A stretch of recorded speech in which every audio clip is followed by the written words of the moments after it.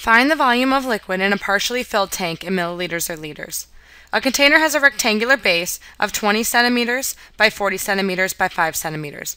Water is filled up to a level of 2 centimeters. Find the volume of the water to fill it up in liters. So the first thing we need to do is remember that a container with a rectangular base is a cuboid.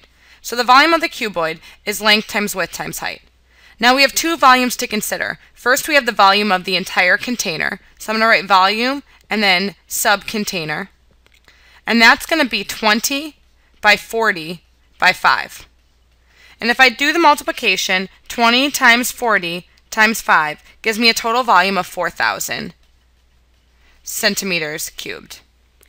Next, let's consider the volume of the water. I'm going to write that volume sub water. That's going to be 20 times 40, but instead of being 5 centimeters high, the water is only 2 centimeters high. So that's really just 20 times 40 times 2, which is 1600 centimeters cubed. So we want to know how much water we need to fill up the container. If I subtract these two, I will get the number the amount or the volume of water to fill up the container. That volume is 2400 cubic inches or rather cubic centimeters.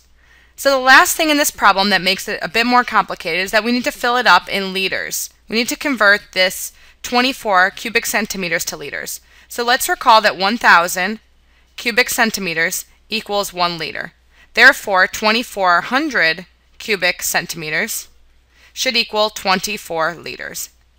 So the volume of the water needed to fill up the container is 2.4 liters.